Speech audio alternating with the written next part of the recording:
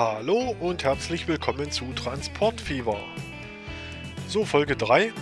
Nachdem wir in der zweiten Folge ein bisschen ins Minus gelaufen sind, habe ich schon mal weiter gebaut, ein paar neue Strecken, ein paar Änderungen vorgenommen. Das möchte ich euch mal jetzt kurz noch vorstellen, aber zuerst kurz zum Kapital.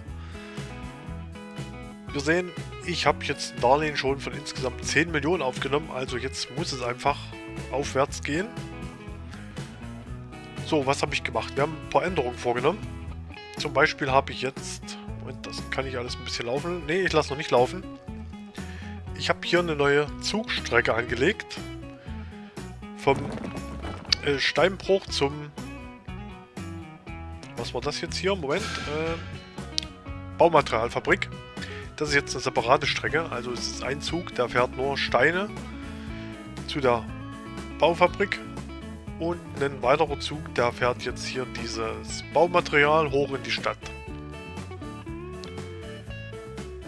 So, des Weiteren habe ich jetzt ein paar mehr Waggons dran gehangen, aber das schauen wir uns nachher nochmal an. So, ebenso hier drüben. Hier hatte ich einen kleinen Fehler. Müssen wir hier wieder unterlaufen. Und zwar hatte ich jetzt hier bei dem äh, Pferdekutschen, hatte ich hier dieses Depot angelegt im Industriegebiet. Das war natürlich falsch, weil die Nahrung muss hier in das Gewerbegebiet. Hier wird, oder die Lebensmittel hier werden diese benötigt. Deshalb hier noch ein weiteres Depot, wo jetzt die Kutschen hinfahren. So, und was mir dann auch aufgefallen ist, ich habe ja hier einen Zug. Jetzt muss ich das mal laufen lassen. Der ist vollständig überfordert. Also den müssen wir jetzt unbedingt ersetzen. Der, ich weiß nicht, hier muss irgendwo eine Steigung sein. Der, der kommt überhaupt nicht mehr auf Touren. Entweder hängt zu viel Hänger dran oder... Ich weiß es nicht. Wir können ja mal kurz hier verfolgen. Dann seht ihr schon, was ich meine.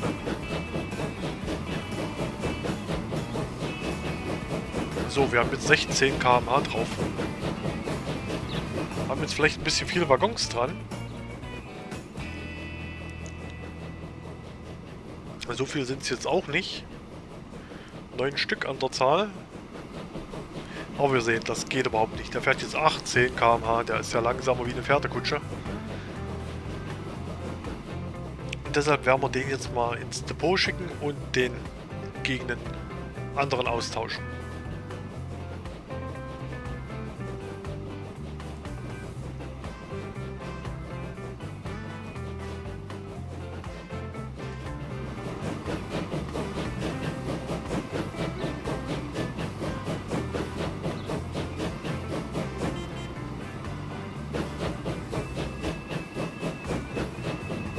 14, 13 km haben.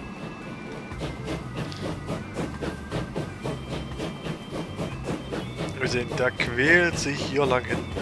Also ich glaube, der hat jetzt auch ausgedient. Wir haben jetzt das Jahr 1870. Wir hatten bereits einen neuen Zug bekommen. Und den werden wir jetzt auch mal einsetzen. Das heißt, ab mit dir ins Depot. Ja, da freut er sich, da gibt er Gas.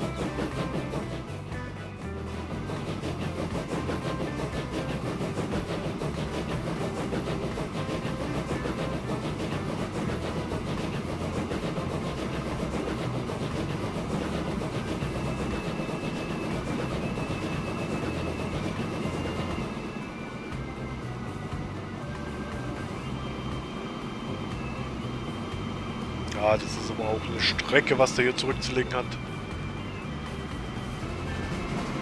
Da werde ich jetzt gleich nochmal schauen, wie sieht es hier aus. Genau, wir haben hier total Überschuss an, was ist denn das überhaupt? Getreide und Vieh.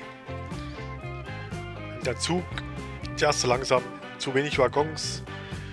Hier können wir viel mehr Profit rausholen. Aber Moment, nee, nee, nee, nee, warte mal du. Wie schicke ich den jetzt dahin? Jetzt fährt er nämlich gerade ins Depot und ich sehe hier mein Konto ist fast ins Minus gegangen. So, wir halten den mal an. Jetzt versuche ich den doch mal zum Abladen zu schicken.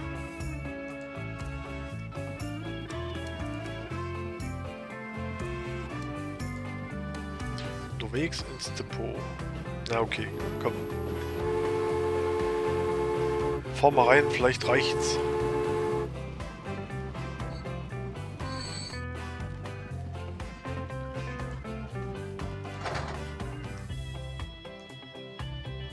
So, wir sehen. Ach, der ist ja günstig. 220.000 kostet der Zug nur. Das ist jetzt unser aktueller Zug. D1-3. Lebensdauer 30 Jahre. Und Höchstgeschwindigkeit 40 km/h. Ach, hier haben wir es ja. Zugkraft 15 Kilonewton.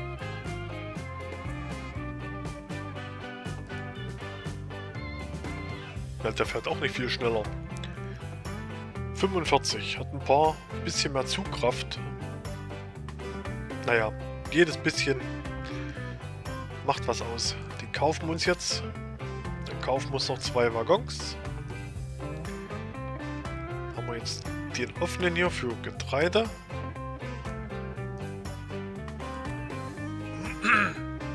So, und genau, den hier für Vieh.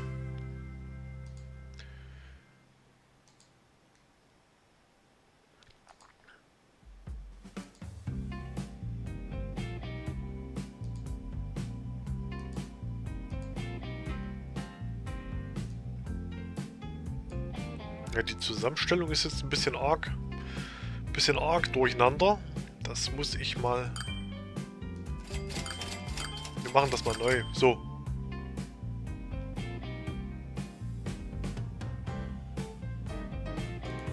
So, jetzt habe ich auch noch alles verkauft. Mann, oh Mann. Zukaufen. Pass auf, jetzt fangen wir einfach nochmal neu an. Da habe ich jetzt nicht drauf geachtet, dass wenn man auf das X klickt, dass das verkauft wird. Mann, oh Mann. So, da kaufen wir jetzt 2, 3, 4, 5. Und hier diese Viehtransporter. Auch nochmal 5 haben wir einen besseren Zug. Und einen Waggon mehr, würde ich jetzt meinen.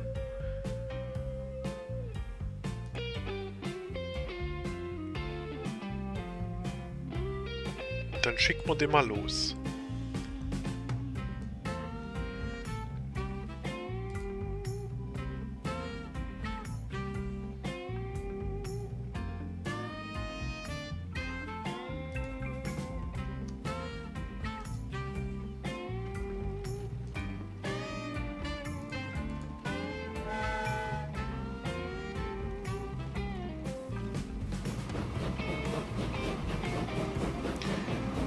Dumme an der Sache war, jetzt habe ich das alles aus Versehen verkauft. Jetzt war der Waggon natürlich, oder die Waggons, natürlich richtig schön beladen. Jetzt ist das alles mit weg. Ist jetzt ein bisschen ärgerlich. Aber wie gesagt, aus Fehlern lernt man, sowas passiert man nicht wieder. Und sowas muss erstmal passieren, dass man überhaupt den Lerneffekt hat.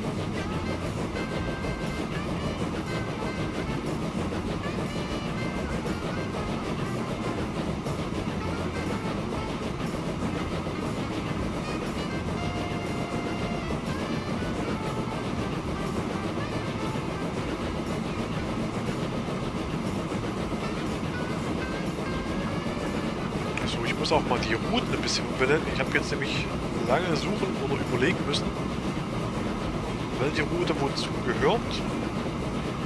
Oder Linie.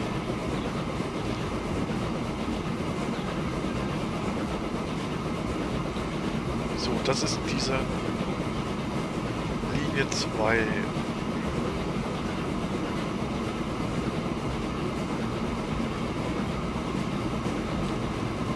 Linie 2 nenne ich mal... Was transportiert er? Lebensmittel? Nee.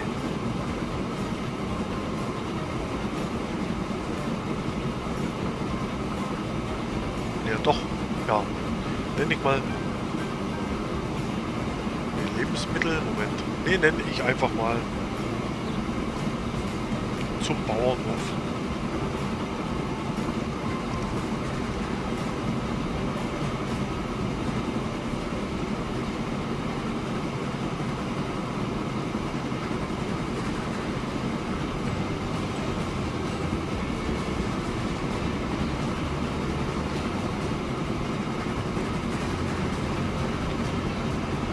So, Linie 5, die gibt es glaube ich noch nicht. Mal gelöscht werden.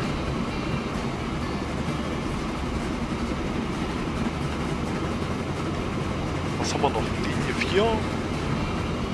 Steine. So nennen wir die jetzt auch.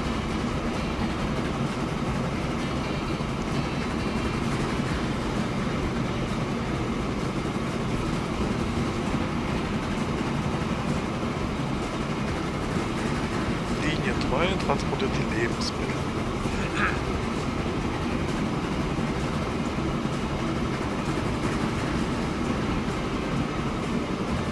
Genau, das sind diese Pferdekutschen.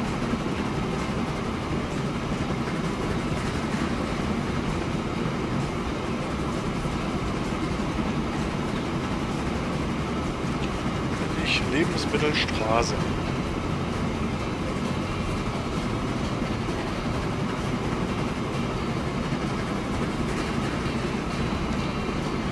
Bleibt noch Linie 1. Das war Baumaterial, oder?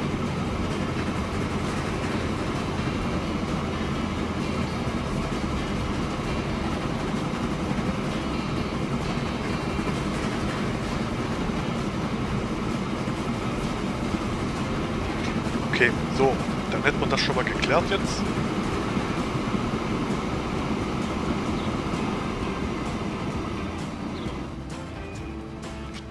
Langer Weg.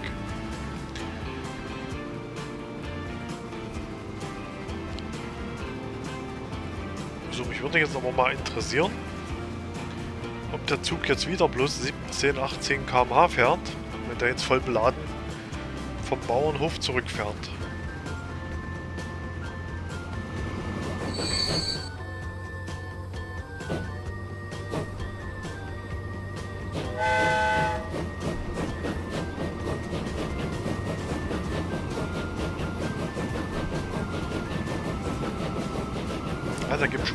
Gibt schon ordentlich Gas. 25 km/h.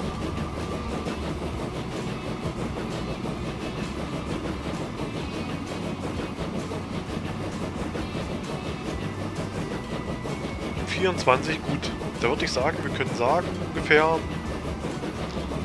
der ist jetzt 50% schneller unterwegs.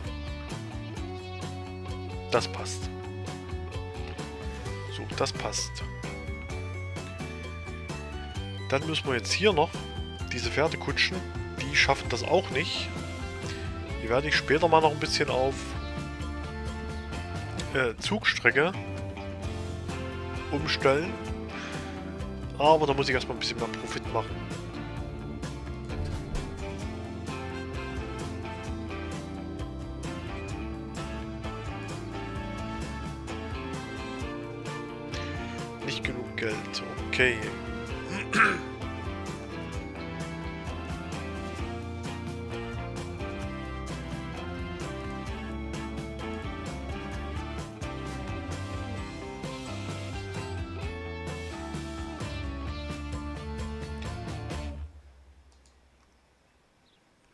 So, dann schauen wir uns das hier nochmal an.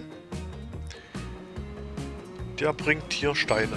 Oder der holt viel mehr Steine.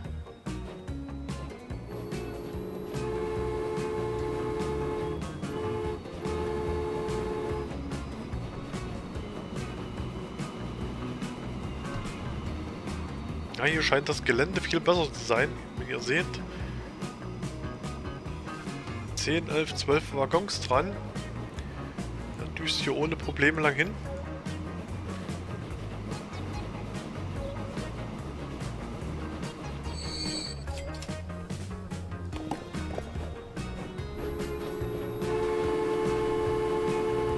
So, da holt er schon wieder Steine.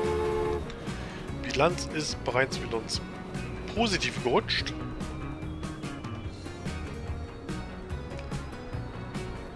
Kurz eben zu Bauernhof.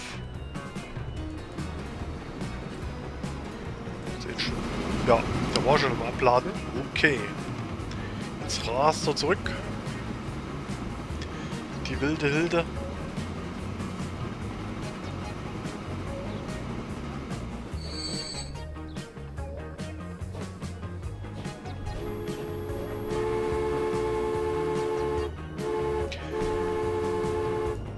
Ja, ich denke mal, jetzt haben wir hier alles grün. Jetzt geht's bergauf. Ich denke mal, der Bankrott sollte Geschichte sein. Können wir mal gucken, ob wir nicht noch irgendwo was hier ein bisschen erweitern können. Beobachten wir mal vielleicht den Zug hier, der hier Baumaterial fährt. Das lagert sich ja auch wie verrückt. Vielleicht können wir hier noch ein bisschen was ankoppeln.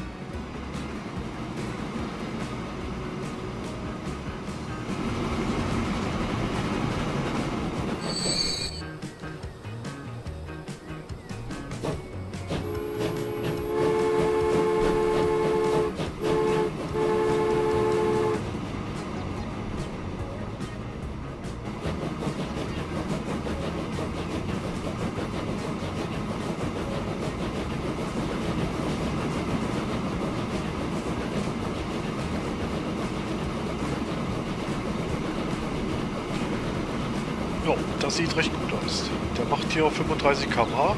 Der kommt vielleicht sogar auf Höchstgeschwindigkeit.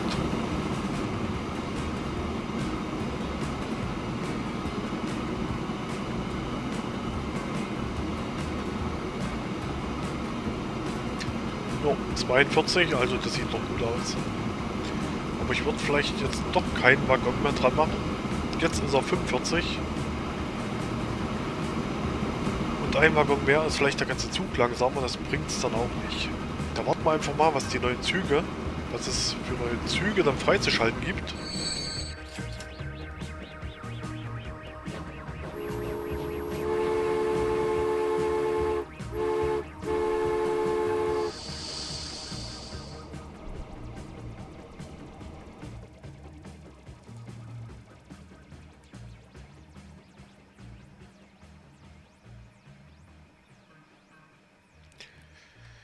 87% ist das jetzt gedeckt mit Baumaterial. Da können wir gar nicht mehr sehr viel mehr transportieren. Und hier, wie sieht es dann hier mit den Lebensmitteln aus? 27, also hier muss noch einiges einiges mehr hin. Pass auf, da. Da müssen wir noch mehr kutschen. Oder bringt das überhaupt was? Hier diese fünf Straßenfahrzeuge. Ach, 3000, das ist... Das ist nichts, was die einbringen. Hier muss eine Zugverbindung her.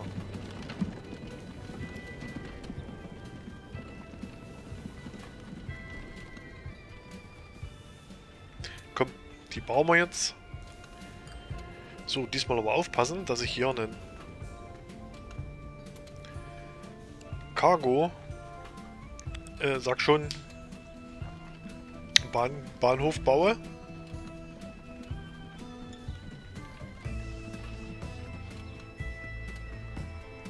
So, jetzt hätte ich das fast dahin gebaut. Wir müssen ja von hier aus denken.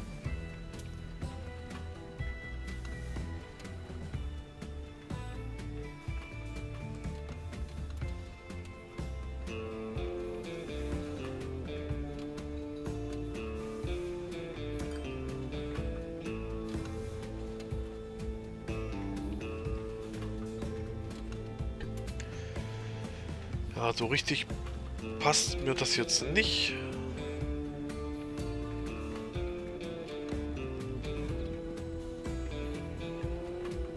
Am liebsten würde ich den jetzt hier unten hinbauen. Müsste ich aber jetzt das hier alles wegreißen. Ach komm, das kommt jetzt weg, das brauchen wir dann auch nicht mehr.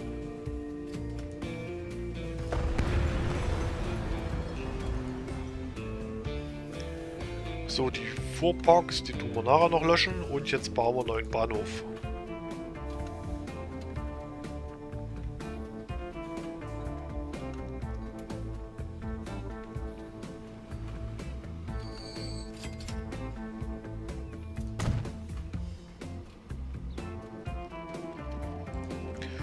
So, und jetzt müssen wir hier hinten das Gewerbegebiet hier irgendwie bedienen.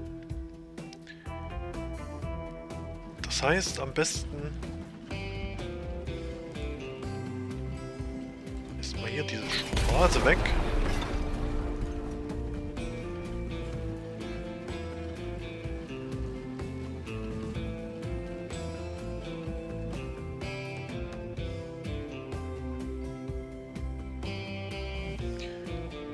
Naja, bis richtig in die Stadt kommen wir nicht rein, aber so geht das schon.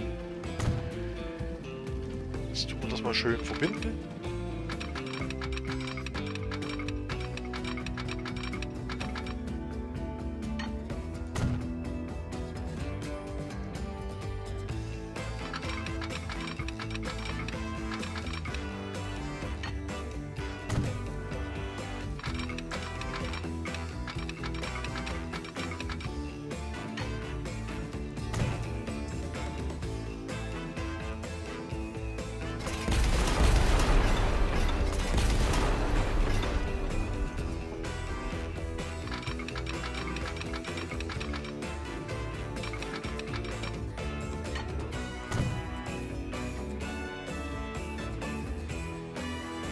Das sieht doch gut aus. Jetzt haben wir hier unser Zugdepot. Jetzt muss ich irgendwie noch den Zug darüber bekommen. Jetzt Gleise baue. Ich glaube, das wird nichts. Oder? Ich kann mal schauen, ob das irgendwie funktioniert. Wie gesagt, von hier ein Gleis.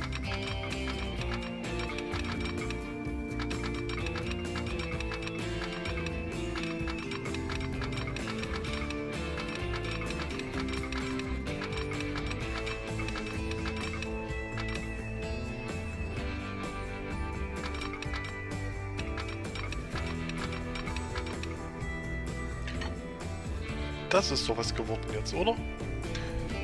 Ja, hier, weiche hier rüber und... Ja, okay. Kostet uns 40.000. Ja, dann hätten wir das schon mal erstellt. Und dann tun wir jetzt noch einen Zug kaufen.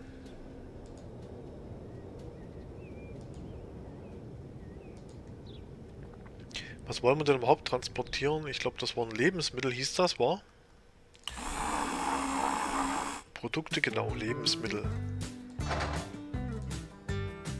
So, kaufen wir hier. Zug und noch ein paar Waggons.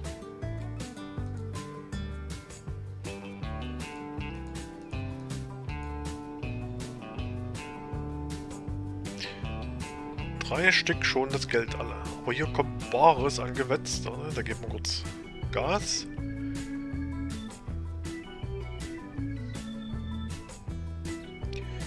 Ich wollte eigentlich fünf Waggons wollte ich dranhängen.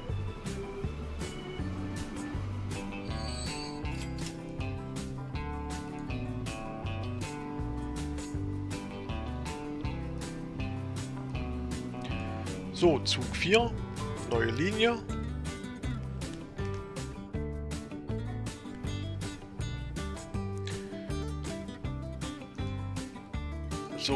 Linie neu. Von hier nach hier. So, da fährt er schon los. Da können wir ruhig sagen, der soll erst fahren, wenn alles vollgeladen ist.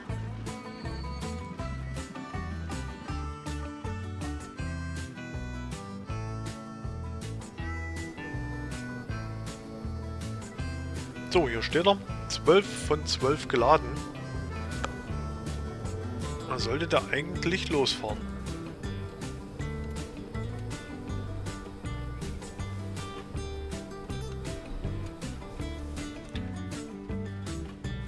Linien hält zu wenig Haltestellen. Ach, Straße, okay.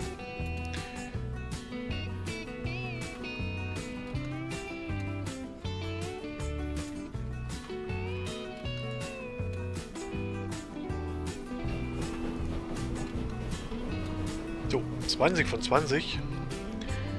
Was macht er los mit den Lebensmitteln?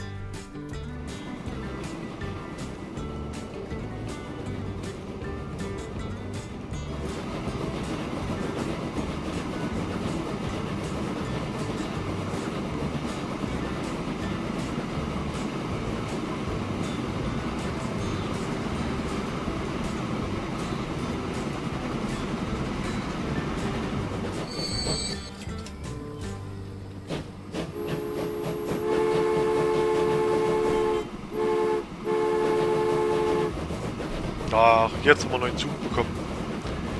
Gerade wo ich mir den gekauft habe. Aber trotzdem sehr schön. Da können wir dann in der nächsten Folge mal wieder ein paar Züge austauschen. Ich glaube, unten läuft ja noch der alte. Steine und Baumateriallager. Oder Fabrik. So, hier das Straßenfahrzeug, das muss erstmal jetzt weg. Die müssen wir alle verkaufen.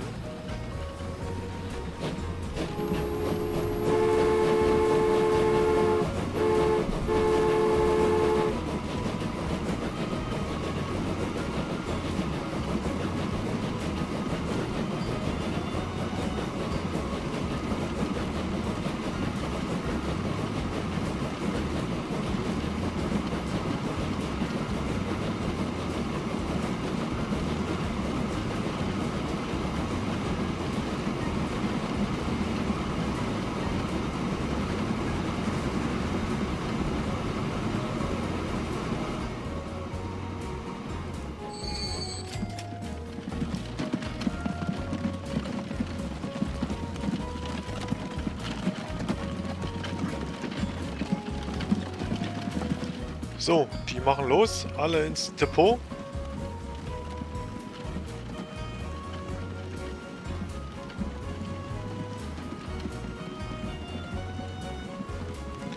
So, Linie 1 nenne ich mal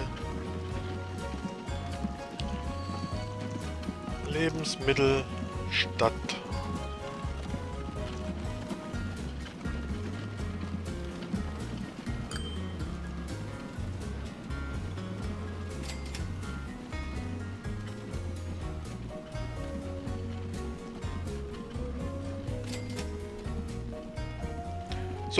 Da kommen die letzten zwei Pferdefuhrwerke. Und weg sind sie. So, alles klar. Dann werde ich jetzt die Folge beenden. Wir haben eine neue Zugschiene. Wir haben positive Bilanz. Moment, wo müssen wir denn klicken? Hier. Alle Linien machen Profit. So soll das sein. Und ich sag mal, dann sehen wir uns hoffentlich dann das nächste Mal wieder. Bis dahin.